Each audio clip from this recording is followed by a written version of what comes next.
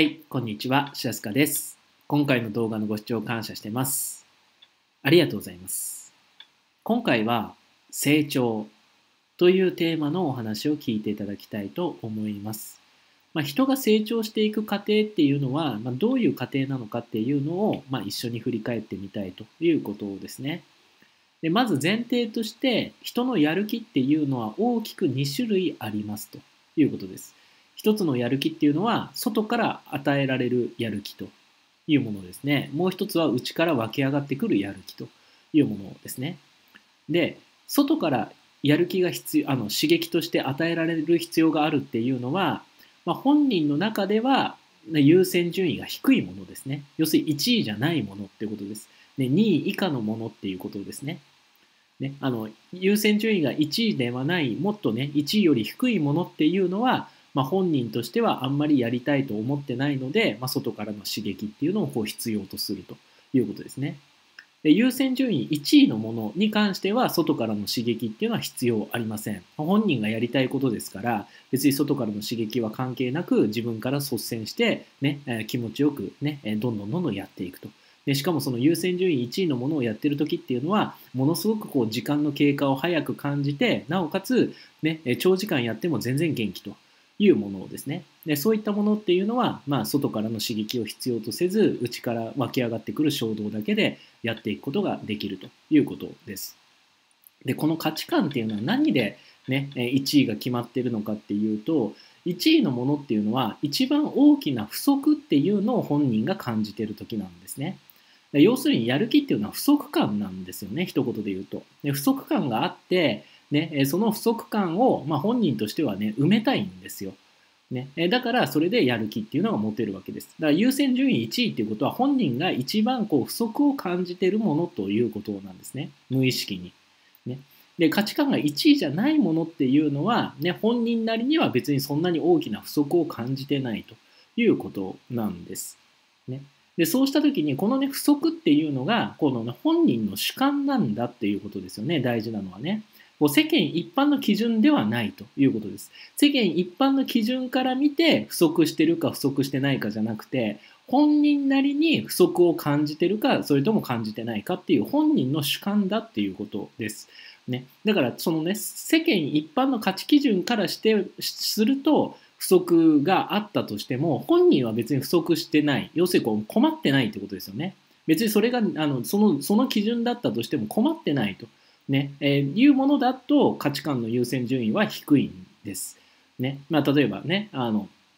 小学生で、ね、例えば勉強とゲームってあった時に、ね、あの勉強はもしかしたら、ね、世間一般の基準親親とか教師の基準でいけば低いのかもしれないですけど本人としては別に困ってないんですよ。ね、別にあの不足をそんなに大きく感じてないと別に自分はこれで構わないと、ね、全然困ってませんというのだとやる気っていうのは出てこないんですね。逆にゲームの場合は、ね、もしかしたら大人の親よりも上手大人の教師よりもうまいかもしれないですけど本人としてはもっとね上手くなりたいし、ね、例えばゲームをクリアしたいしなんかそのゲーム内容を極めたいということですごくこう大きな不足を感じてるから本人なりには不足感が大きいのでゲームはやりたいんですね。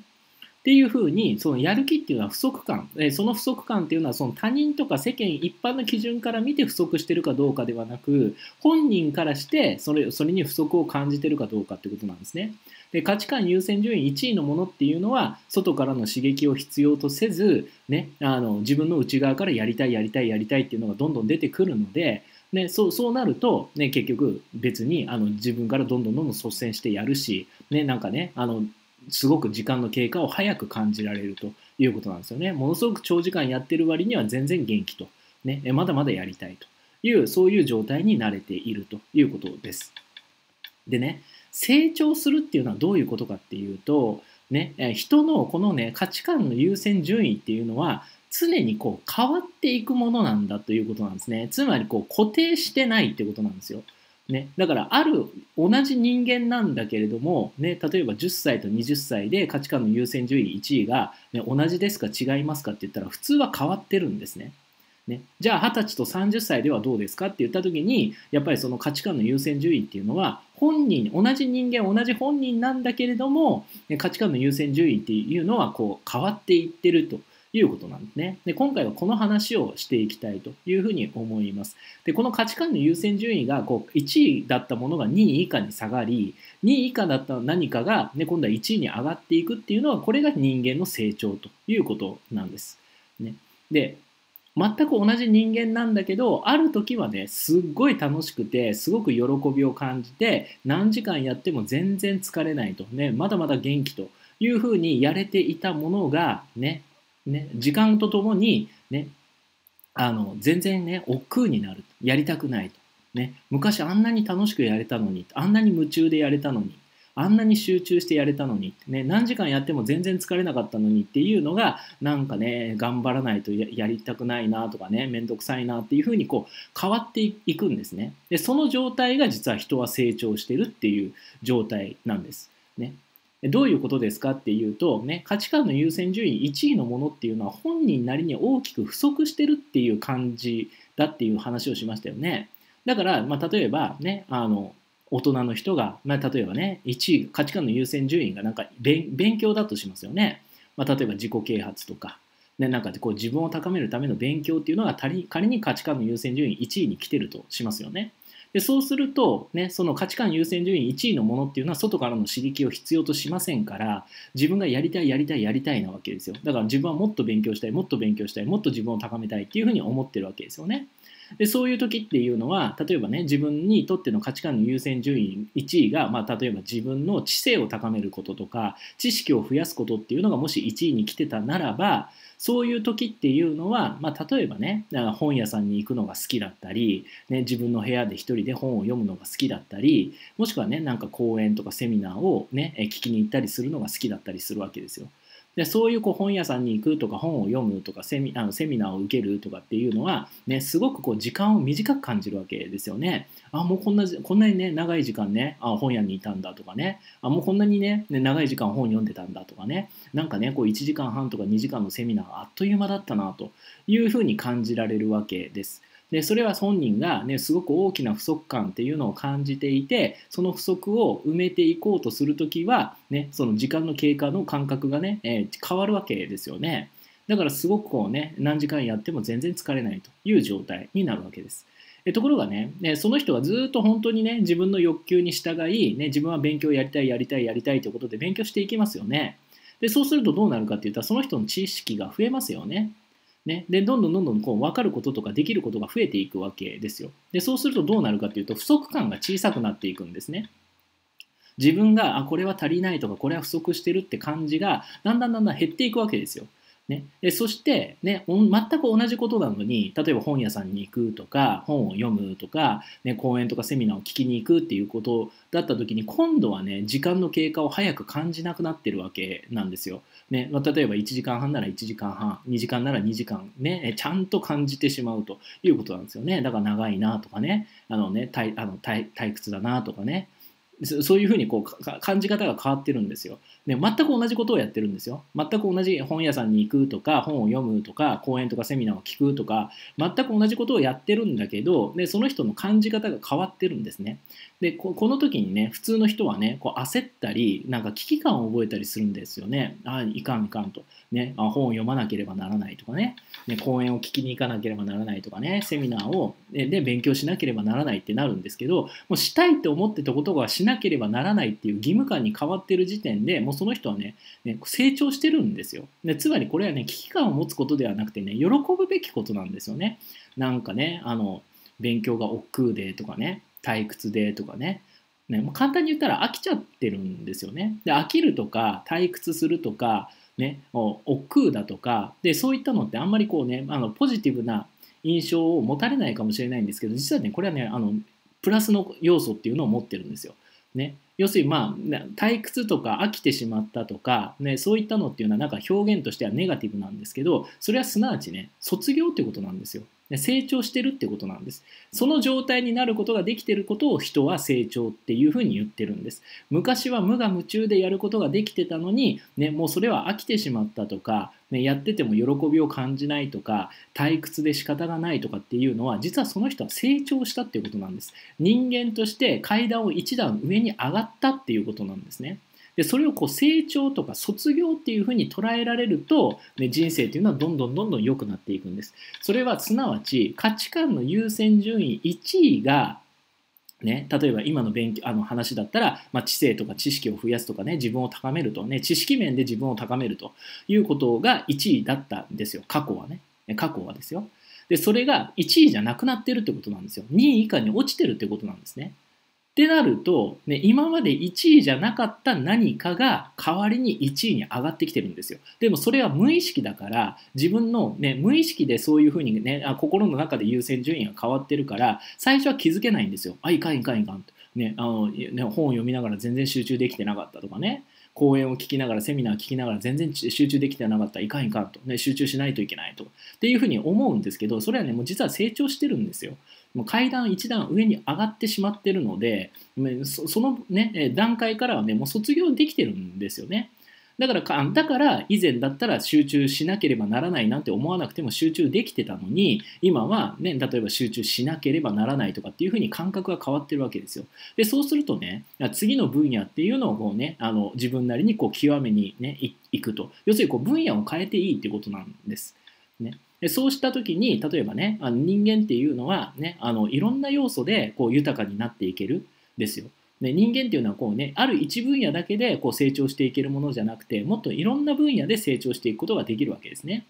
まあ、例えば今回はねあ仮に人生の豊かさっていうのを、まあ、7つの分野に分けてみたとした時に別にねこれはね7あ4つでも7つでもね12個でもいいんですけど、ね、それはもう人によってねいくつに分けるかっていうのはそれぞれの人がそれぞれで言ってるので、ね、人生は必ず7分野ですとかっていうわけじゃないですね別に2分野で分ける人もいれば4分野で分ける人もいれば12分野で分ける人もいるので、まあ、大事なのは数じゃないんですよでそうじゃなくてねあの人生っていうのはもっとねこういろんな面で豊かになれるってことなんですね。で今回は仮に7分野っていうのを前提にして話を続けていくと、まあ、例えばねあのまあ、順番は本当にどうでもいいんですよ。順番はこの順番であの極めていきましょうっていう話じゃないんですけど、まあね、仮に1番目が例えば健康と、ね、2番目が仕事と、ね、3番目がお金と、で4番目が、まあ、知性、まあ、自分の知識を増やしていくってことですよね。まあ、知識欲っていうことです。で5番目が家族との関係。で6番目がその社会的な人間関係。で、最後の7番目が精神性とします。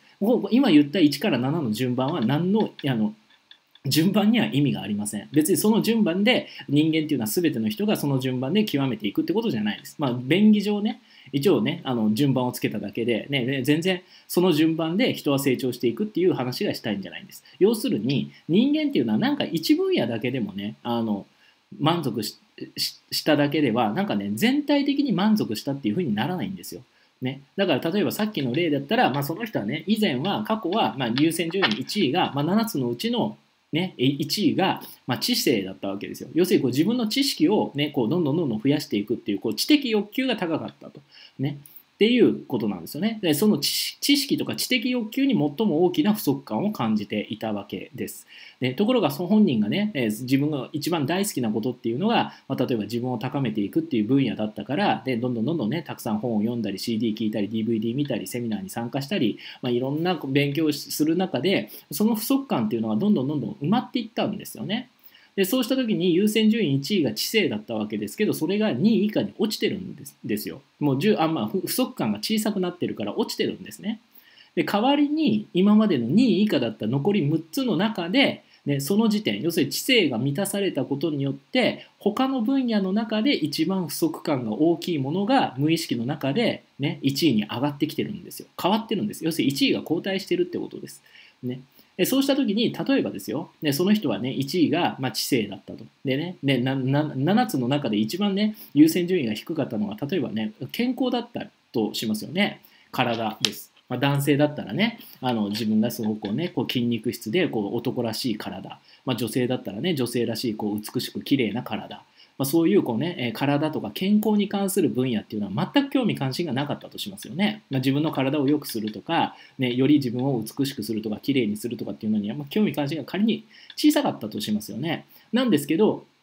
知性を、ね、ずっと磨いていって知性の不足感っていうのを自分が埋めていったら今度は知性に関して例えば本屋に行くとかっていうのがめんどくさいとかね本を読むっていうの時に集中できてないとかねセミナーの時にねなんかね上の空だったとかっていうのはね、え結局それはね、いやの気合とか根性の話じゃなくて、本人としてはもうね、段階が一段上がってるんですよ。それそれに関してある程度本人が満足できるレベルまで上がってるってことなんですよね。まあ、卒業してるってことなんです。一言で言うと。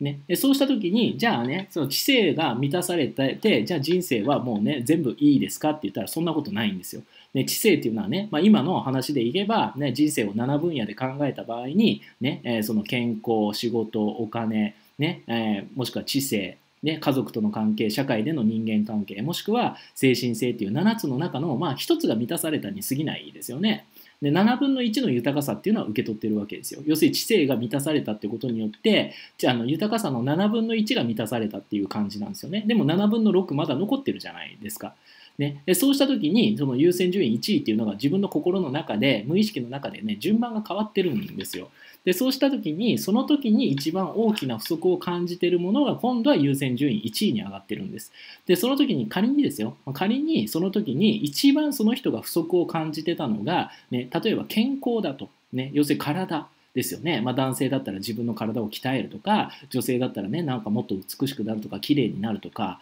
でそういうね体とか健康に関するところに最も大きな不足を感じてたとすると今度はそれに対しては外からの動機づけがいらなくなるんですよ。要するに自分がやりたいことに変わってるんです。ね、昔はね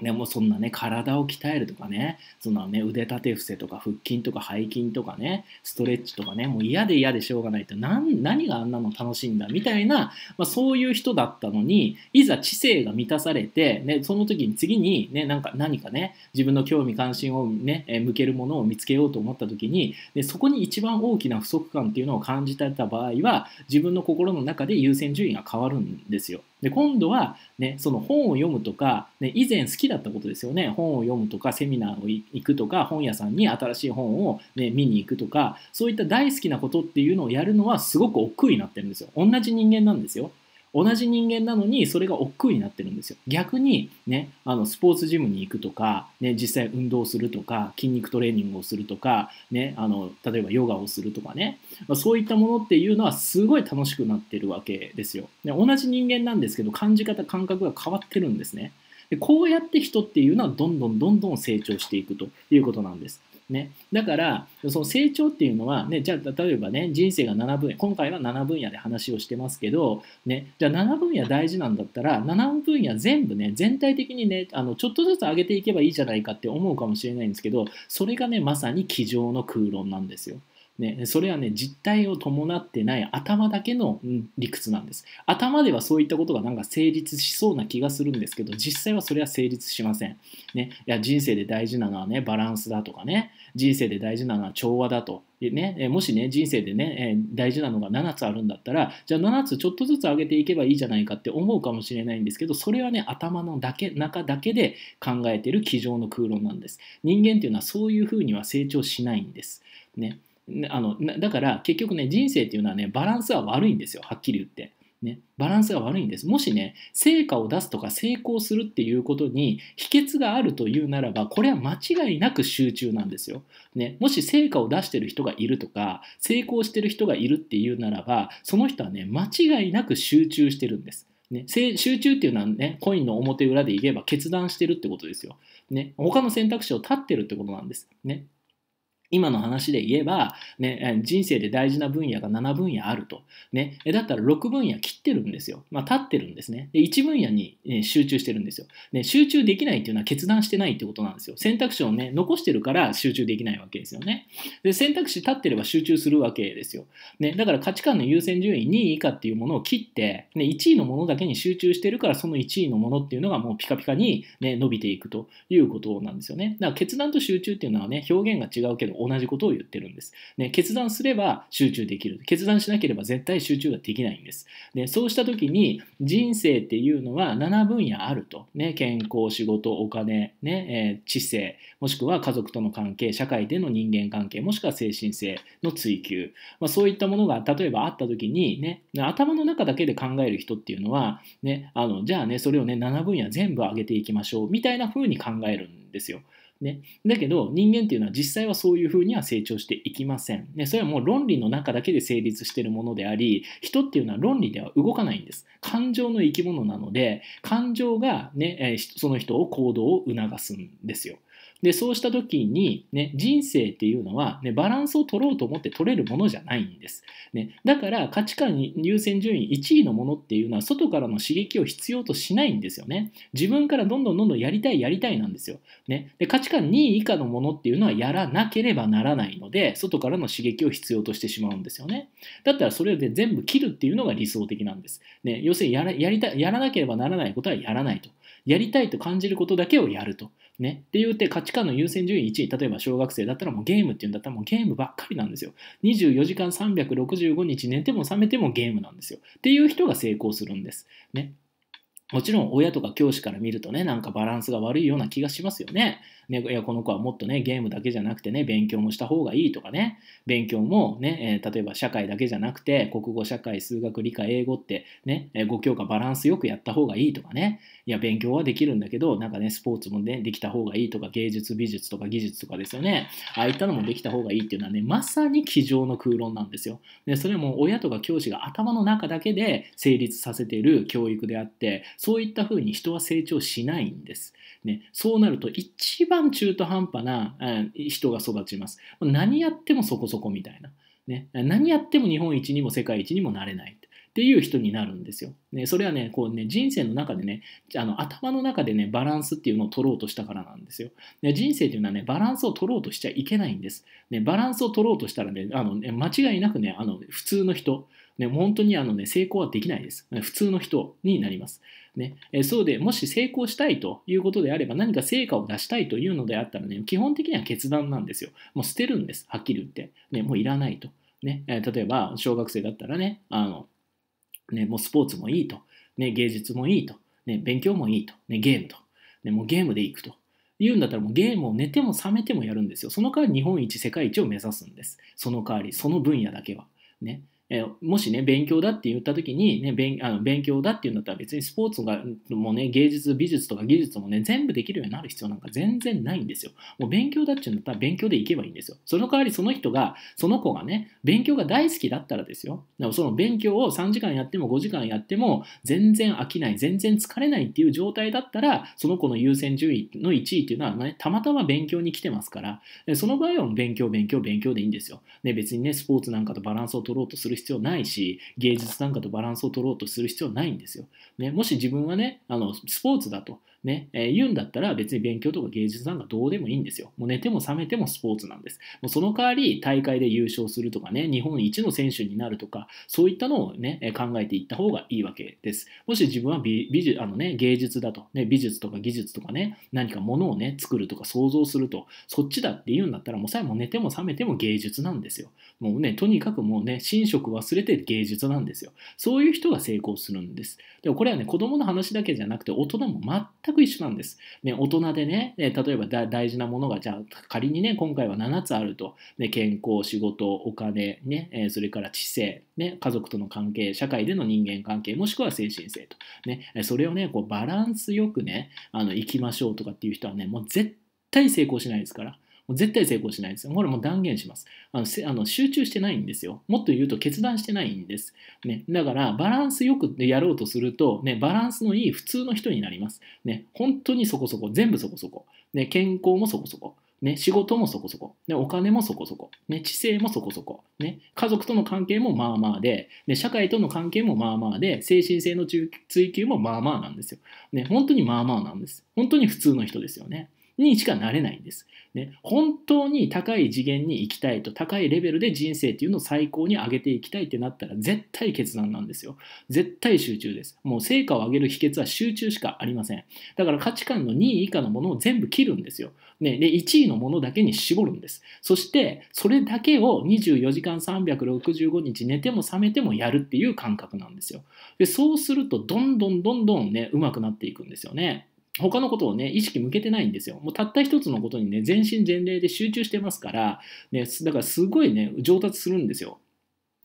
で、そうするとね、その人はじゃあそれだけでね、じゃあ残りの6分野が全然ダメじゃないかって思うかもしれないんですけど、人は必ずある程度自分なりに満足いくところまで行くと飽きるんですよ。ね、その一生年、その人生80年、100年ずっと同じことをやり続けるってことはね、基本的にはできないんです。ね、その人の本質上はできないんです。もしそれをね、いや、あの人はね、たった一つの道をね、ね何十年って極めましたって言ったらね、その人は間違いなくね、あの、はっきり言ってね、途中で飽きてるのに、もうね、やあの環境的にやめることができなかった。えー、例えばなんなんかね自分が生まれ育った場所が伝統芸能の世界だったからもう自分はね10年とか15年ぐらいでとっくに飽きてたのに、ね、でもどうしても辞めることができない、まあ、そういうこうやむを得ない環境にいたっていう人ですよね、まあ、そういう人はねそういう生き方をしていくと思うんですけど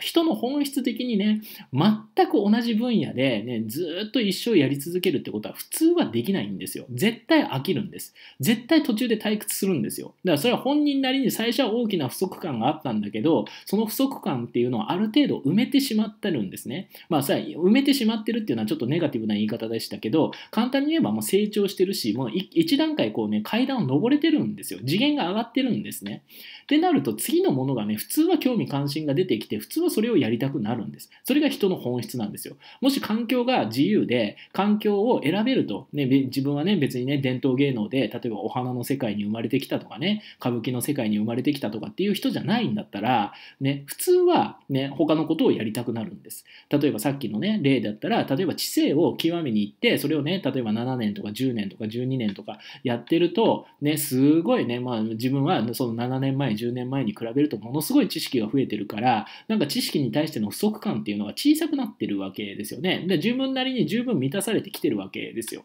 で、そうすると全然満たされてない別の分野っていうのがものすごくあの興味関心が出てきて、今度はそっちを極めに行くわけですよね。例えば優先順位1位が昔は知性だったんだけど今は例えば健康とか体になってるというのであれば、ね、今度はそのね例えば昔だったら本屋さんに行ってた時間に本屋さんには行かないでスポーツジムに行ってるわけですよ。で昔だったら本を読んでる時間に今だったら運動してるわけですよ。ねえ、例えば前だったらなんかねあの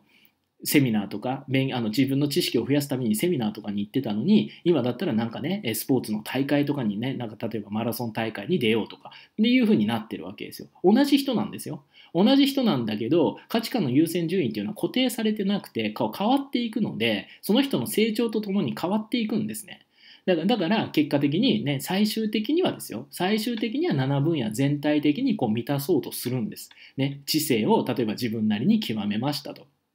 ね、健じゃあ次は健康だと。そしたらね、もうどうやったら自分の体ってすごく良くなるんだろうとかって言ってね、一生懸命腕立て伏せしたり、ね、あの腹筋したり背筋したりね、ストレッチしたりね、え例えばヨガのレッスンを受けたりとかね、まあ、いろんなことをやって、どんどんどんどん自分の体を良くしていくわけですよ。で、ある程度自分なりに満足できたって言ったら、また違うね、分野で不足を見つけるんですよ。ね、あたもうねあのこんなんかね体はねだいぶね昔に比べると良くなったと。すごいこうねあの体の変化っていうのが楽しかったと。ねすごくこう健康的な体になれたと。ね。だからなんかねスポーツジムっていうのがすごく楽しく行けてたのにだんだんだんだん行くのが億劫でね今度はなんかスポーツジムに行かなければならないというふうに感じているとなんかもうその人はいよいよ一段階上に上がってるんですよ。ね、一段階上に上がって、もうね、飽きてきてるし、退屈してきてるんですよね。でそうすると、例えば、じゃあ全然違う分野ですよね。まあ、例えば、ね、あ何でもいいですけど、例えば、そのね、社会との人間関係みたいな感じでね、こんななんか人脈の構築とか、なんかそういったのにものすごいこう興味関心を持って、なんかね、あの人と会うのなんて昔は億劫で億劫で仕方なかったのに、なんかね、人から学ぶことがすごい楽しいというふうに、こうね、同じ人間なのに感じ方が全然変わってるわけなんですよ。つまり、心の中の優先順位1位っていうのは、ずっと固定されたものではなくて、ずっとその人が本当に順調に成長し続けるならば、コロコロコロコロ変わっていくものなんだということなんですよね。で、最終的には7分野全部ね、ある程度本人なりに満足していると、結局ありとあらゆる豊かな人生っていうのを実現できてるわけなんですよ。でも一瞬一瞬を見ると確実にせあの、ね、集中してるんです。他のね、7つの選択肢のうちの6個を切ってるんですよ。ね、もうね、知性って言うんだったら24時間365日知性なんです。ね、お金って言うんだったらもうとにかく鉄頭鉄尾お金稼ぎなんですよ。ね、でとにかく一つ一つのなんか知識とか技量とかっていうのをこう極めにいってるんですね。でそうするとその一回極めたものっていうのはもうねその人の心の中に残ってるのでその知識技術っていうものがねだから仮にその時間が減ったと。いや、昔に比べると全然本を読む時間が短いんですとかね、昔の方がもっともっとね、勉強してました。今はあんまり勉強してないんですとかって言っても、別にその人は衰えてないんですよ。もうね、階段一段上に上がってるから、ね、前の段階のものっていうのはね、別にね、頑張らなくても当たり前にできちゃうんですよ。ね、いや昔の方が全然勉強してましたと、ね、今はね昔に比べてね急に本をね読む量が減りましたよねとかね、えー、本を読む時間が減りましたよねとかって言っても、ね、別にそれその人はもう階段上に一段上がっちゃってるので、ね、だから昔のものっていうのは何回でもできるんですよ、ね、だからちょうどその、ね、自動車の運転技術みたいなもんなんです人生っていうのは。大概のものっていうのは後天的に獲得できるんですよ。もう大概のものは全部とは言わないです、ね、100とは言わないです。ね例えば、ね、あの急にね、40歳過ぎた後にやっぱりバスケットボール選手になりたいとかね、バレーボール選手になりたいとかね、バスケットボールチームをね、なんか世界一のチームに導きたいとかって言ってもね、それはもう多分無理だと思うんですよね。要するにそのバスケットとかバレーボールとかなんか身長とかね、運動神経とかね、まある程度こう生まれ持ったね、ものっていうのは関係しますよね。ね、やっぱりバスケットボールっていうんだったら、やっぱりね、身長が高い方が明らかに有利なようにできてるルールだし、ね、バレーボールだって身長が高い方が明らかに有利なようにできてるルールですよね。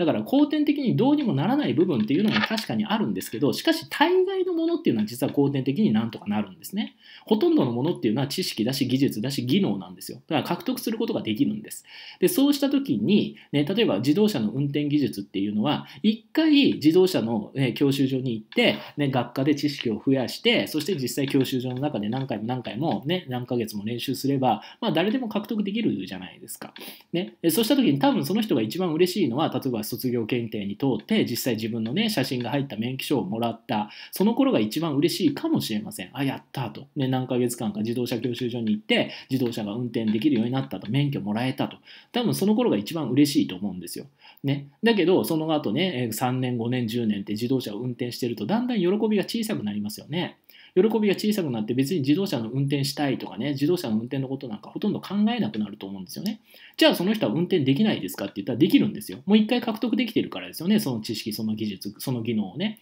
むしろね、免許、免許取り立てでなんか若葉マークとかつけて運転してた頃よりも、ね、全然上手に運転できたりするわけですよ。ね、そそんな感じなんです。だからな、とにかくね、やりたやらなければならないって感じることがあるんだったら、もうそれはね、切っていいってことなんです。一言で言うと。ね、やる必要ないんです。必要、あの基本的には。ね、で、やりたいと思うものをやっていくんですよ。ね、やりたいと思うものに関しては外からの、ね、動機づけっていうか刺激を必要としないので自分がどんどんどんどんやりたいからやるわけですよね。だったらああ自分はねこの分野だっていうのが今一つあると、ね、7分野の中で一番ねこれをやってる時はなんかね何時間やっても全然疲れないしすごくこう時間の経過を早く感じるっていうものがあるならばそれが自分の心の中に、ね、優先順位1位で来てますのででそれをとにかく徹底的に磨くんですよ。であとの6分野は切るんですはっきり言って。もうどうでもいいと。ね、とにかく極めに行くんです。で24時間365日で鉄頭鉄尾そっちの方法に集中するんですよ。そしてね、とにかくね、その技術とか技能っていうのを、一回自分の体に出て完全にこう体得しちゃうんです。ね、そうするともうそれはねもう何回でも使えますから自分のものになってるわけですよね。もう知性なら知性ですよ。仕事なら仕事。もうお金ならお金。だからもう仕事ができる人っていうのは何をやらしても仕事ができるんですよ。別の分野の仕事が与えられたとしても一回もう仕事ができる人になってるから他の分野の仕事になったとしてもやっぱりその仕事もできるんですよ、ね、お金もそうなんですよね。お金もやっぱり稼ぐっていうのは知識だし技術技能なので、ね、獲得できてない時要するにこう自動車の運転技術をまだ体得できてない時は稼げないわけですよ。はっきり言って、ね、だけど一回その人がねもうお金を稼ぐっていうのはこういう感覚なんだっていうのがマスターできてるのであれば、ね、その人はもう昔ほどお金お金お金って思ってなかったとしてもやっぱり稼げちゃうんですよ。ね、そのね、自動車の運転技術を、ね、10年、20年やってる人がね、なんかね、あの自動車を運転しながら、なんかね、カーステレオで音楽聴きながら助手席の人と喋っててもちゃんと運転できるじゃないですか。そんな感じで、例えばお金、お金、お金ってね、昔はなんかね、お金、もうとにかくお金みたいな。ね、24時間365日、鉄頭鉄尾お金のことばっかり考えてたと。だからお金の知識を一生懸命勉強し、お金のね、稼ぎ方とかっていうのを一生懸命技術とか技能とか体得しようと、一生懸命やってたと。ね。で、で実際体得できましたと。ね、だったら、だからもうその人はお金に対しては昔ほど興味関心を失ってるわけですよ。ね、優先順位が変わってるんですよね。だからって言って、じゃあその人は稼げなくなってるかってそんなことはないんですよ。もうその人はその人の体の中に完全に力として入ってるから、生きてる限り使い続けることができるんですね。でそういうふうにして、一分野一分野ずつこう極めていくんです。で極めるコツっていうのはもう決断と集中以上です。もうそれしかないです。ね、あの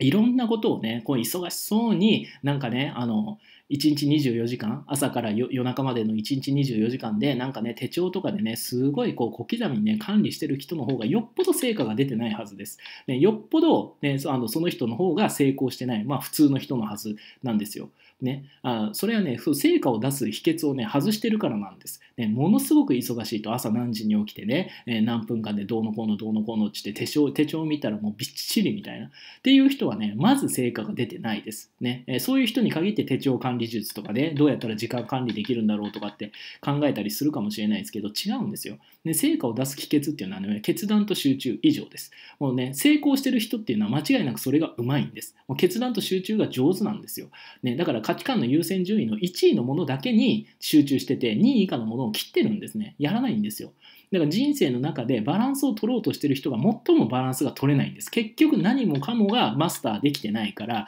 全部苦戦しちゃうんですよ。ね、全部苦戦しちゃうんです。ねえー、でも全てがなんか中途半端なので全部ねなんか極めてないので一回一回全部なんかねこう外からの刺激とかっていうのを必要としちゃうんですよね。そうじゃなくて極めるんですよ。ね、一個一個。もうね、あの今自分があこれをやってる時は楽しいなとか喜び感じるなとか何時間やっても全然疲れないなっていうんだったらもうとにかくそれを極めちゃうんですよ。もうね、寝ても覚めても24時間365日でそこに行くんです。もうその分野を徹底的にやるんです。でそうするとね、まあもちろん何を極めに行ってるかによりますけど、もちろんそのね、難易度とか、あとは本人の基準ですよね。まあどれぐらいのものを望んでるのかっていうのによりますけど、まあある程度一流のものだったとしても、大体10年あれば極められます。ね、大体10年あれば極めることができます。もう10年集中して取り組んだと、自分はこの分野が一番好きだからこれを一生懸命やるとかっていうのを、ま、10年やると、ま、大概極められます。ね、もう要するに一流ということです。他の人からちょっと抜けて、抜けた状態になるということなんですね。でそうすると他の分野っていうのに今度行けますよね。まあ、例えばさっきの例だったら、まあ、最初は知性に行ってたんだけど次なんかすごくね興味関心が出たのが、ね、体とか健康だって言うんだったら今度は体とか健康に行けるわけですよそしたらもうねとにかく運動してる時が一番楽しいとなんか自分の体がどんどんどんどん変化してねどんどんどんどん良くなってねなんかね体の力こぶがついてきたとかねあの太もものね腹筋がねあ太もものね一番大きい人間の体の中で一番大きい筋肉っていうのがねたくましくなってきたとかねなんかそういう感じで、ね、ものすごくやっぱり自分の体の変化が楽しくなったりするわけですよ。そしたらもうそれでいいんです。でそしたらその体の分野の知識をどんどんどんどん増やし、運動量をどんどんどんどん増やし、自分にかける負荷ですよね。例えばその、ね、腹筋と腹筋の回数とか腕立て伏せの回数とか、そういったのをどんどんどんどん増やして、どんどんどんどん自分の体を良くしていくんですよ。で自分がね、もう心の奥底から満足できるレベルまで行くんです。で、ま、で満足できるレベルまで行けば、もう飽きますから、ね、退屈なんですよ、今度は。ね、なんか今度は、なんかね、ジムに行くのが、ね、すごい行きたい、行きたい、行きたいって、運動したい、したい、したいだったのが、行かなければならない、しなければならないってなってるので、もうそういう風になった時はまた次の分野なんです。要するにこう、運動を卒業っていうことですよね。自分なりのね、え、不足感っていうのは消えてるんですよ。ね、自分なりにはもう十分満足してる。もちろん世間一般の基準は別ですよ。世間一般の基準は別ですけど、本人なりにはもう十分満足してるんです。そしたらもう次行っていいんですよ。ね、じゃあもう次はね、えー、何でもいいんですけど、まあ、例えば精神性の追求ということで、例えば哲学とか宗教とかスピリチュアルとかね、自分と向き合うとか瞑想とかね、なんかそういったのにも鉄頭鉄尾行くわけですよ。もうなんか寝ても覚めてもスピリチュアルみたいな。寝ても覚めても瞑想みたいな。っていう感じになるわけですよ。で、自分とひたすら向き合って、なんか自分っていうのね、自分の心とか精神なんかとずっと向き合って、ね、え、例えば瞑想なら瞑想を極めるわけですよ。あ、瞑想ってこういう感覚なんだっていうのを極めるわけです。で、また次行くっていう感じなんです。でそうすると、旗から見てるとですよ。旗から見てるとですよ。本人は別ですよ。本人は別ですけど、旗から見てると、あの人何でもできるっていうふうに見えるわけですよ。であの人何でもできるなって。ね、あの人は知性って言ってね、いろんな分野の知識持ってるし、ね、体健康的だしね、なんかこう精神性も高いしねってね、なんかね、家族との人間関係もすごく充実してるよねと。ね、で、お金からは自由になっていて、ね、なんか仕事をやったらね、仕事すごいできそうと。っていう感じで、なんかね、こう他の人から見たらね、すごいいろんなことができるような風に見えてるんですけど、それはね、結果なんですよ。それは結果だけなんです。で、その人の途中過程では全然バランス取れてなかったんですよ。調和なんか全く意識してなかったんですね。一つの時はもう全然バランス取れてなかったんですよ。もう仕事なら仕事ばっかりやってたんですよ。もう寝ても下げ冷めても仕事だったんですよ。あなた仕事のために生きてるの？はいそうですみたいなそういう時代っていうのを過ごしてるわけですよ。もう仕事しかしてなかったですよね。はい、本当に仕事しかしてませんでしたみたいな感じなんです。そうやってこう仕事っていうのを極めてるわけですよね。だから仕事ができるんですよ、その人は。何をやっても。他の仕事をやっても、ね、他の仕事を任されてもきっちりやるんですよ。もうその人は仕事ができる人になってるから、仕事力という技能を体得できてるんですね。ね、っていう感じで本当に一個ずつ極めていくんです、ね。だからやりたくないことなんかやる必要ないんですよ。ね、やらなければならないっていう時点で、もうその人は少なくてもそれを切っていいってことなんです。ね、でそれをねあの認めてくれない人のことを、ね、あの心理学ではドリームキラーっていうわけですよ。本人がやりたくないって思ってて、やらなければならないってことを無理やりやらそうとするから、その人をドリームキラーっていうふうに言うんです。それはね、伸びないんですよ。ね、本あの外からどれだけ厳しいね親とか教師が無理やりやらそうとしたって、ね、例えば勉強なら勉強で、ね、親が怖いからとかね教師が怖いからとかね勉強は大事だからとかってやっても頭に入らないですからその状態の時は基本的に。本人としてはね困ってないんですよ、ね、別にねあの知りたいと思ってないし、まあ、勉強したことが自分の将来の夢実現とか理想の人生に何の役に立つんだろうと思ってるわけですよね。だったらねそんな状態で勉強なんかしたってしょうがないんですよ。意味がないんです。時間の無駄なんですよ、はっきり言って。でそうじゃないんですよ。もうその時にゲームっていうんだったらゲームなんです。スポーツっていうんだったらスポーツなんですよ。芸術っていうんだったら芸術なんですよ。もうそれだけをやらせてあげればいいんですよ。そしたらね、ものすごいね、もうそれそれはもう学校で一番には簡単になれるし、もしかしたら地域で一番とかね、県で一番とかね、日本で一番とか世界で一番とかって目指せるわけですよ。で、それで本当に自分がやっていく中で、だからその本人なりの基準ってありますから、ね、例えば地域で一番になっても十分満足したっていう子もいれば、ね、県で一番までは頑張りたいと。で、県で一番だけど別に、いやいやでもね、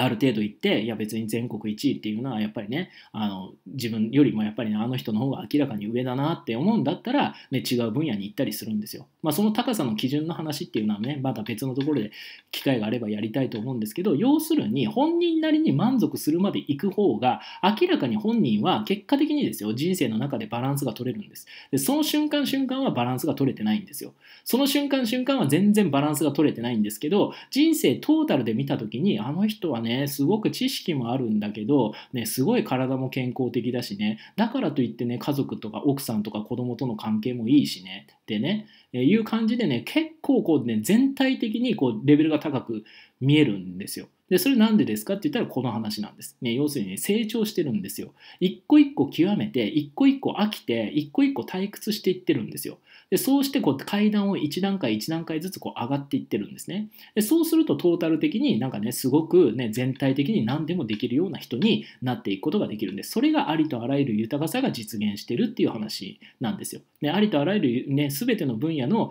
ね、豊かさっていうのが実現してるっていうのはこう、ね、なんかねこうトータルでこうちょこっとずつ満たしていったって感じじゃないんですよ。ね、そうねあの 7, つ7つの、ね、健康仕事お金、ね、知性、ね、家族との関係社会との人間関係もしくは精神性っていうのを大事だからって言って例えばその24時間365日をねちょっとずつちょっとずつこう時間を割り振って、ね、実現させてきてるものじゃないんですよ。そうじゃないんですよ。なんかねもう寝ても覚めても仕事とかね寝ても覚めても勉強とかね寝ても覚めてもお金とかね寝ても覚めても精神性とかねなんかそんな感じのねあの時間を過ごしてる中で一個一個極めてるんですよだから全体的にできるようになってるんですでその感覚っていうのをやっぱりね一分野でまずつける必要があります。ね、自分がねあの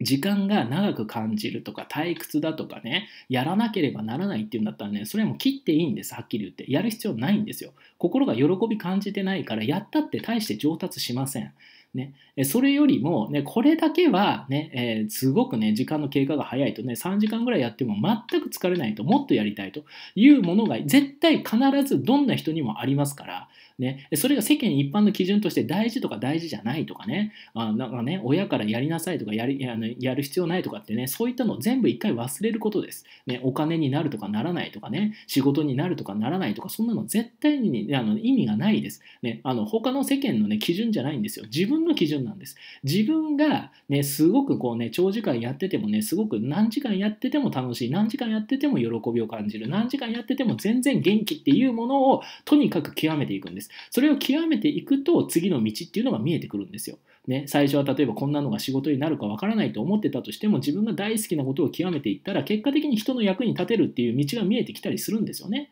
そしたら大好きなものが仕事になったりもしくは仕事につながったら当然お金につながったりってことが出てくるんですよ。ね、だからとにかくね自分の心の内に従うっていうのは価値観の優先順位1位というものをとにかく大事にして2位以下は切っていいですよっていうことなんです。ね、2位以下は切っていいですよと。ね、要するにねあの地域得意区体育ってね3つをねあのバランスよく育てましょうなんてあんなのね頭大人がね頭の中で考えて机上の空論ですよ。ね、そんなの実現できないんですよ。で人間はね論理の生き物じゃないんです、ね、感情の生き物だから本人がやりたいと思うものじゃないと伸びないんですよ、ね、あの得意句なんて本当最低ですよね。もう本当に何を考えてるんだって今でも思いますけど、ね、あの小学生中学生にねまだあの14歳未満ってことは自我が確立してないから、ね、物事の分別がつかないんですよ、ね、それを自分の心に入れたいとか入れたくないとかっていうのが区別できないんですよね。ね、14歳を過ぎて自我が確立するとあこれは好きとか嫌いとかって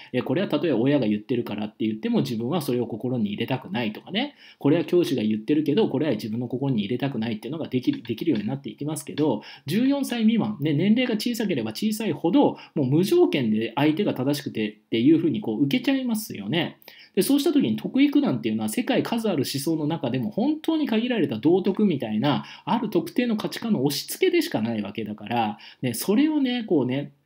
いや人間の理想はね知育特育体育3つ揃ったねあのね、え人だからそれをこうバランスよくっていう風にねやってたりしますけどもうねもう勘違いも甚だしいですよね。もうほんと子供がかわいそうですよ、ね、そう精神性の追求なんてね本人がねあの自ら望んでやるっていうんだったら別ですけど、ね、人から強要されるものじゃないんですよ。人間として正しい生き方はこういう生き方ですとかね。なんで教えることができるんですか他人がってことなんですよね。本当にあれはね、もう最悪です。ね、あのもうもうどうにもならない、もうそ日本の教育制度なので、ね、もう日本を離れるしか基本的にはないかもしれないんですけど、もしくはもう全くね、あの公教育じゃなくて私立とかインターナショナルスクールとかじゃないと選択できないかもしれないんですけど、本当最悪です。ああいう、ね、教育をね、いまだこの21世紀、2017年でも続けてるから、全部に対して普通の、全部に対して平凡な子供しか育たないんですよ。もしね、普通の子であ、普通の子ならまだしも、ね、もう無気力とかね、引きこもりとかね、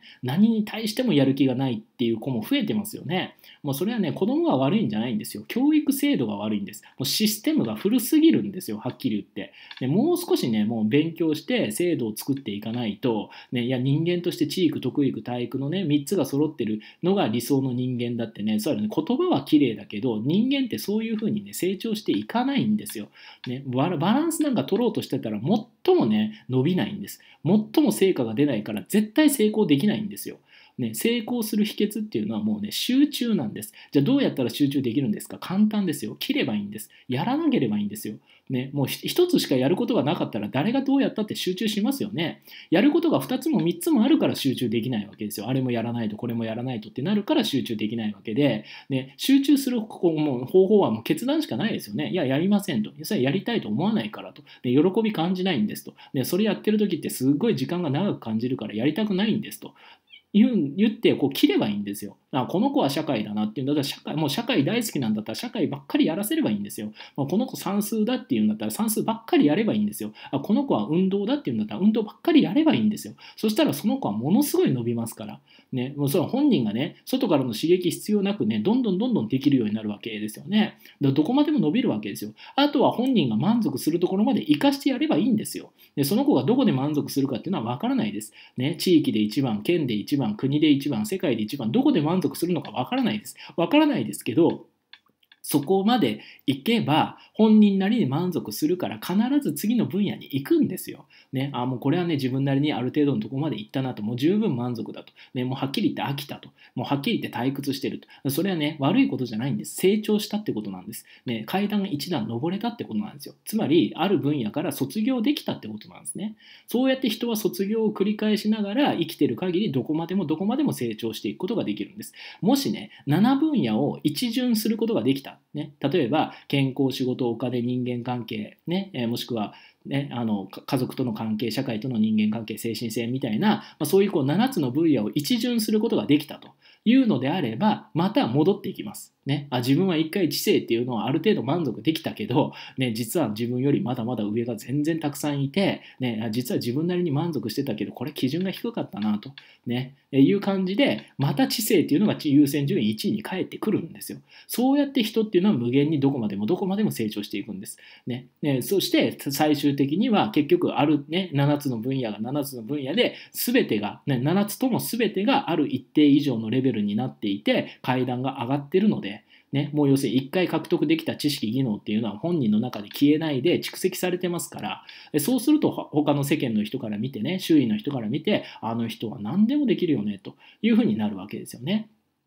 でそういうふうに人っていうのは成長していくんだということです。ね、人生でバランスが大事っていうのはね、机上の空論ですから、ね、それはね、頭の中では成立するかもしれません。やっぱりね、仕事も大事だけど、家族との関係も大事でね、みたいな。ね、精神性も大事だから、地域のね、あの地域の、ね、ボランティア活動とかね、そういったのも大事だよねとかっていうのは、ね、机上の空論ですから。ね、人間ってそういうふうに成長しません。ね、そういうふうには成長しないんです。もう仕事だったら仕事ですよ。寝ても覚めても仕事です。ね、本当に自分のことをね、理解して応援してくれる人がいるんだったらね、それをね、許してくれる人をね、近くに置いた方がいいです。ね、あなた仕事ばっかりしてね、ね他にね、他の、他のこともね、やってよとかね、他のことも手伝ってよとかっていう人はね、はっきり言ったらね、夢をね、あの潰しちゃうので、そういう人たちのことをね、心理学ではドリームキラーって言うんです。ね、あなた仕事ばっかりやってね、仕事人間なのと、他のこともね、やってよっていう人がいたら、その人は絶対ね、その人、相手のね、夢実現なんか望んでませんから。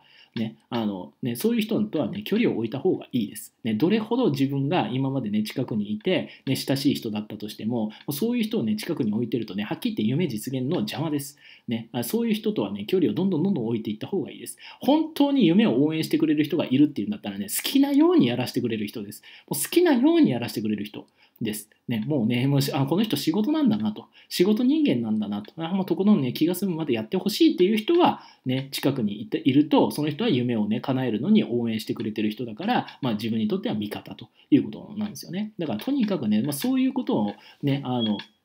理解した上で、ね、人生は最終的には、ね、バランスが取れてありとあらゆる分野で、ね、豊かになりありとあらゆる分野で幸せっていうのを感じていった方がいいと思うんですよだから健康も大事だし仕事もねお金も人間関係も精神性も全部全部大事は大事なんです大事は大事なんですけどでも人間が本当にそれをあるある一定でねこうえ、全ての分野で豊かにしようと思ったら一個一個は極めていかないといけないんです。ね、一個一個はバランスなんか考えてちゃダメです。その代わり仕事っていうんだったら仕事を極めるってことが大事です。もう誰がどう見てもあの人は仕事ができるって思う、ね、人間になる必要があります。ね、もあの人は仕事できるよねと。ね、もとにかく約束は守るしね、あのお金の管理はきっちりしてるし、時間も本当にちゃんと守るしね、あの人に仕事を任せると本当安心だよねって信用できるよね、信頼できるよねっていうことで仕事をとにかく極めるんですよ。ね、で一回仕事を極めさえすれば、ね、ね、どんな仕事だったとしてもやっぱその人がやればできますから。で仕事できる人っていうのは何やってもできるわけですよ。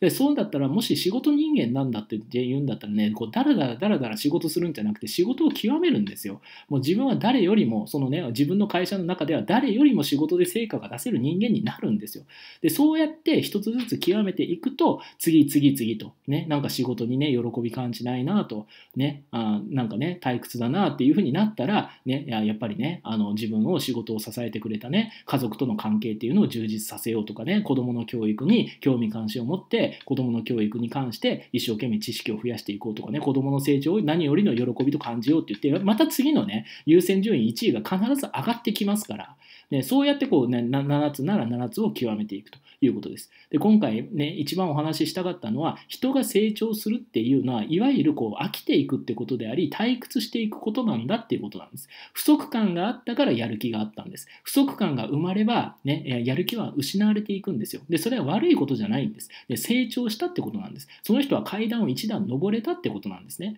で、あとは生きてる限り、ね、自分に貴重な時間があるんだったら、また自分が何らか不足感感を感じるところに対して興味関心を持ち、それを徹底的に極めていくということですよね。そうすると人は生きてる限りどこまでも成長し続けることができるし、最終的には全ての分野のありとあらゆる豊かさっていうのを受け取った最高の人生っていうのを自らで作っていくことができるというお話です。はい。今回の動画がですね、あなたのお役に立ったということであれば、ぜひグッドのボタンを押して応援していただけると嬉しいです。チャンネル登録もよろしくお願いいたします。そして現在ですね、メルマガ登録していただいた場合は、特典教材をプレゼントしていますので、ぜひこの機会にメルマガを登録してください。よろしくお願いいたします。はい、最後までご視聴くださり感謝してます。ありがとうございます。白坂慎太郎でした。それではまた。